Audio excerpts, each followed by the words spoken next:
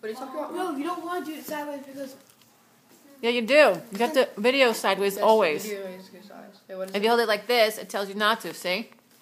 I want to see what does do. Look. Oh, arrow comes on. how much of the doll did you do? What is it, mom? Um, it's a new app color? called YouTube Capture, and it like helps you capture good videos to put on YouTube. Awesome. How I thought.